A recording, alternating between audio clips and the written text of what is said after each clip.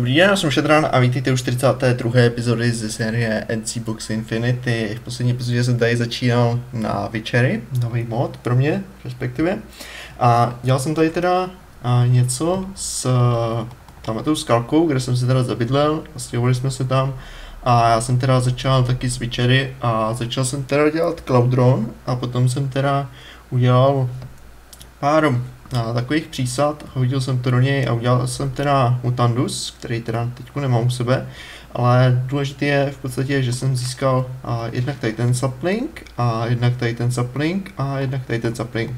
Tady ty tři saplingy v podstatě to je to důležité, co jsem z toho dostal.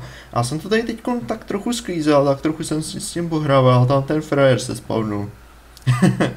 yep, to není strom, to se jenom tváří jako strom. Jo, yep. Au, au, au, ok, ok, už je naštvaný. a on se teda spavne v okamžiku, kdy já tady pokácím nějaký stromy v okolí a začne, začne bránit tyjo, ty stromy a pojď sem, end, end tyjo. a koukám, že on možná kam chodí, tyjo, tak tam dává půl mil efekt. Kamo, kamo, tady, tady. Tady, tady, tady. Že jsem někomu viděl, že jo, jo, bull meal efekt na zemi, pod ním, auč. Sice trochu dává rány, no ale to, to se rozchodí. Pojď sem, pojď sem, pojď sem. Boj, boj. 220 životů, to je prd. No, no možná ne. OK, OK, boj. Jo, jo, jo, to půjde, to půjde, to půjde. Ještě ráno, ještě ráno, dobrý, je po něm. Uf, OK. No, máme spoustu kytek a spoustu trávy, jo. Celkem luxusní, ty mob. Mě úplně překvapilo, že jsem ho tady potkal. Každopádně, já jsem koukal, co z něj padá a padá z něj Entwig a když jsem se koukal, co se z toho jde udělat, tak jsem tam našel tady ten, ten Tick Spring, tak to by mě celkem zajímalo, co to dělá. Na to bychom se možná mohli rovnou jako ze začátku podívat. Tak jo, zkusíme to povařit. Takže první já tam budu potřebovat a, zase ten Mutandus. že exhale, vejce, yep, Tady ten recept už mám v paži. Se krásně povaří. A... Dej to sem, no ten dus, super. Tak, já jsem tady teda ještě přijal takový menší zdroj vody, abych nemusel furt chodit ven nebo nějak externě napájet tady ten cloudron vodou. Tak mě to přijde takový nejjednodušší způsob. Tak. Teď jsem to nahlazil úplně to samý, to jsem, to jsem ale vůbec nechtěl. jsem chtěl teď pomutovat, a co to opřem asi otočí, že A já jsem teď chtěl pomutovat, tak znova, tak, tak znovu, Mutandus, nedrovat. OK, vcucl to oba. O, už to bublá. O, to je taková zdravá zelená barva, ty. Jo, jako květák, ten je taky strašně zdravý. OK, tak jo. Tak teď jsem na to kápnu. Velký hlas velké čarodejnice se ozvalo v mé hlavě. A k tady tomu teda budeme potřebovat ještě a, takový mezikrok, který budeme potřebovat vyrobit, protože tady to samo o sobě ne, nefunguje. Ono to potřebuje nějakou energii, která to v podstatě zpracuje. A na to budeme potřebovat a, jednak nějaký dřevo, co jsem právě natěžil. A Rowan Wood, yep. A na to budeme potřebovat taky oltář, který já teda nemám v systému a který budeme muset vyrobit podstatě a na to zase budu potřebovat Breath of Goddess, budu na to potřebovat a tady ten X, Exhale of Hornet a nějaký bottle, nějaký stony, nic těžkého. Nějaké všechny přísady máme pohromadě a můžeme vyrobit taky tady ten oltář. A já teda budu potřebovat dva sety tady toho receptu, 6 kusů. A tady ten oltář já budu potřebovat zasadit někam do nějaké přírody, třeba takhle ven to hodíme, vypásnu pár torčí, nebo respektive pár svíček, aby jsme to taky trochu viděli. Tak, a dejme tomu, že asi tomu vymezíme třeba těch 6 míst. Tak, v okamžiku, kdy já to teda vykladám těch 6 bloků vedle sebe, tak oni se složí, je to multiblok a tady ten oltář teda začne nabíjet energii. A já mám takový pocit, že to asi možná nedosáhne až k tady tomu kaldronu, že asi budu možná muset trochu přesunout blíž, nebo ten oltář poslat blíž. No, každopádně. Jenom tak, aby jsme to vyzkoušeli. Já vezmu Cloudron, hodíme ho někam třeba, zkusíme třeba takhle sem, jestli to tady bude fungovat. Tak, to potřeba zase jít vodu zase, jeden, dva, tři bakety. Tak, Teď to bude muset ještě trochu vařit, takže tady jsem přijde netherrack. Auto range. Co tady? no je lepší. O je. Nějakých 240 metrů, tyjo, máme range od baráku. Tak. Nějakou vantku. Začarovat netherrack, paráda. OK. Tak, to se vaří. To se taky vaří, OK. Teď to asi spálí všechno trávu v okolí. Um, jo, asi jo. A každopádně. Já musím ještě udělat ten mutandus. A je tam. OK. Teď přestane hořet. Tak. tak jo. Tak, teď by to teda mělo potenciálně fungovat. Uvidíme hned Raz, dva, tři. Tak, jeden mutandus. A k tomu... Ono se to tam nehodilo, protože tam musí být nejdřív ten netherward. Těhle těch pár bloků, co jsem dal od, od toho systému, to je vážně, to je poděl. OK, netherward, dobrý. Mutandus, dobrý, oje, oje. Particle efekty, wow, OK, jo, bere si to tady energii, superový. Už to sem. No, oh je, OK. A já jsem trochu... Já jsem dostal nějaký negativní efekt možná na sebe. Um, Paralyzis 3. Wow. Ty krása. To, to je hodně nebezpečné nechat se paralyzovat takhle u toho. No. Každopádně. Máme Mutandis Extremis. Je to extrémní, člověka to paralyzuje tyho na 20 vteřin vedle tady toho. A rozhodně to teď můžeme teda využít do dalšího receptu, takže tady zase necháme uvařit vodu. A pro ten další recept, já myslím, že potřebuji další netherward. To, to mě paralyzovalo, protože v tom receptu byl netherward. No. Myslím, že asi teď se od toho budu držet trochu dál. Tak, a teda z tady toho end twigu, jsem říkal, budeme vyrábět tohle, musí to být v pořadí, takže nejdřív ten netherward, čo prase, než se nechat paralyzovat. Je krása. Se nechat uvařit. Jako vážně, ty jo? OK. Tak jo. A máme pork chopy. Tak jo. Takže jeden netherward. Um, jeden entwig a jeden mutandus. Tak. Se všechno hodí. Má to krásně přirozenou červenou barvu. OK.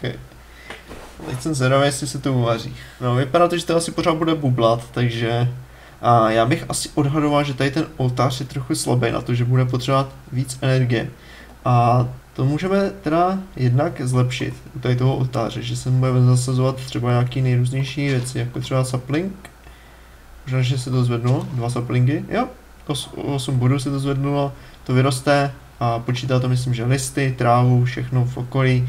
A jak čím větší je různorodost tady těch plodin a jako třeba víty by to počítalo, pumpkiny by to počítalo, melouny by to počítalo, všechny takovéhle věci, kitky v okolí a všechno by to počítalo a všechno by to teda zvyšovalo potenciál tady toho oltáře.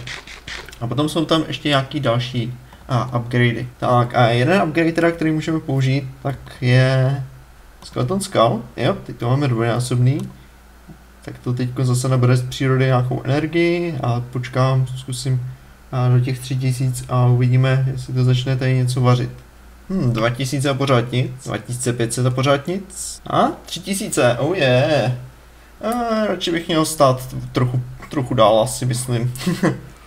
to asi, a stejně to hodil Slowless, jo, na minutu. OK, každopádně, máme Mutating Sprig, to je přesně to, co jsem chtěl. Máme dokonce i oltář k tomu a dokonce trochu povýšený. A na tady ten oltář, teda potom ještě z Witchery se dají dát další věci, které jsou nějak extra těžký na výrobu. A je tam teda tady ten kalich, který tam můžete dát, no to je teda potřeba Atium Stone, no to je teda potřeba Bit of Magic, což je právě z těch Romance Soplingů, nic moc složitýho. Potom je tam druhá věc, naplněný kalich, to dává ještě víc. Tam je teda potřeba nějaký redstone, nějaký ton of dog, to je v pohodě, mandarin drake v pohodě, wool of bed, to já mám. Potom je tam teda potřeba belladonna, což je jedna z těch základních kytek, to je taky v pohodě.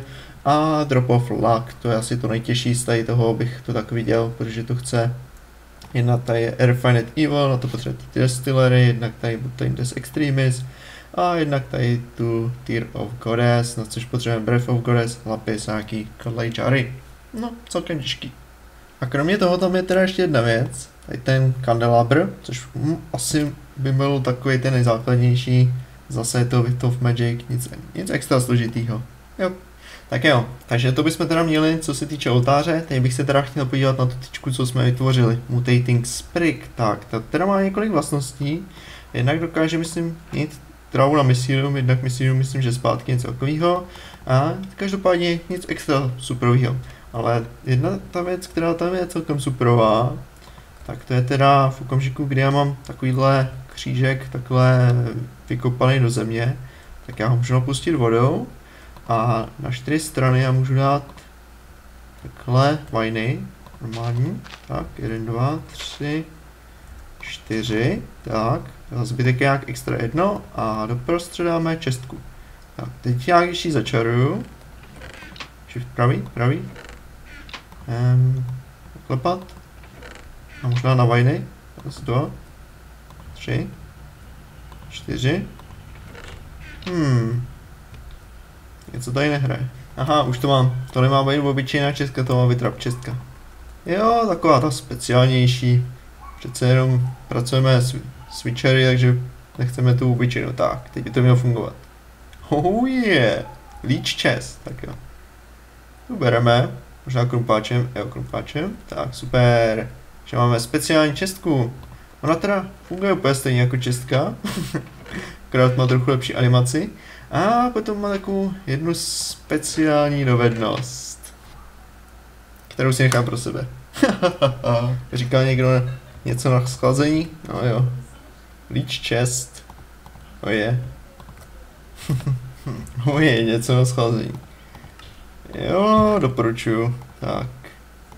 Pěkně mluvnou šťávu zpátky. No a já myslím, že ta česka se tváří úplně nevinně, jo? Taková obyčejná česka. tak jo, tak teď když teda máme nevinnou česku na spawnu, tak já bych se taky mohl podívat do další věci, která je ještě víc nevinná z toho modu, jako je což samozřejmě ne, celý mod, že jo. A což je teda uh, tady trochu opatroníš, je tady ten, tady ten španělský mech, nebo Spanish moss, a který když postříháme, tak dostaneme velice užitečný materiál, z kterého můžeme vyrobit velice užitečné věci. Jo.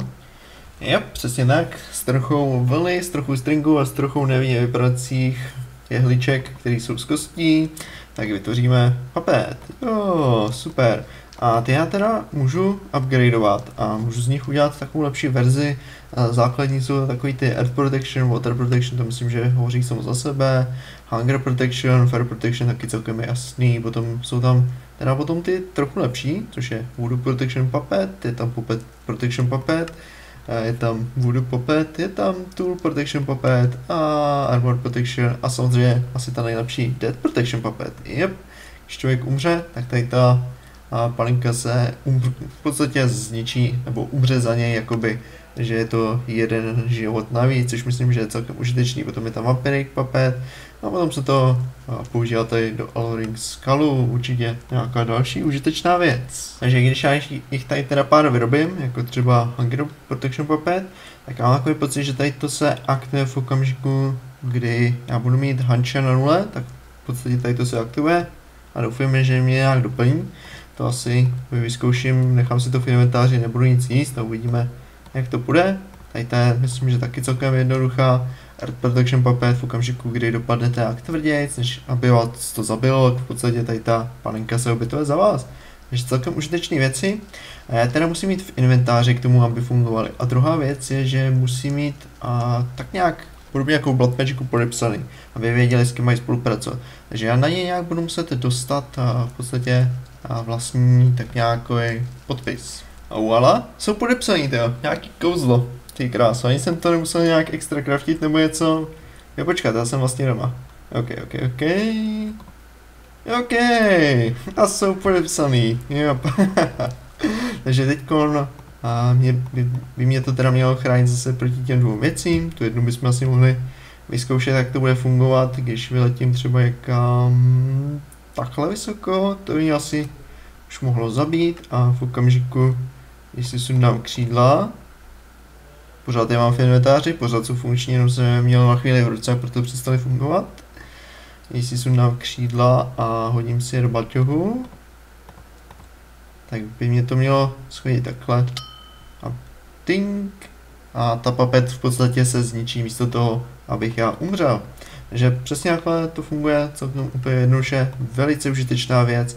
Potom se to dá ještě upgradeovat tak, aby to v podstatě nemuselo být v mém inventáři, na to se určitě podíváme v dalších dílech a myslím, že pro tady ten díl to by mohlo stačit.